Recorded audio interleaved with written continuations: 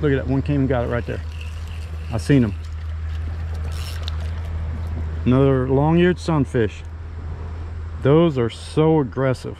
And I tell you what, this is a small one, but man, you get a hold of a big one, they will put up a fight. They are very, very strong.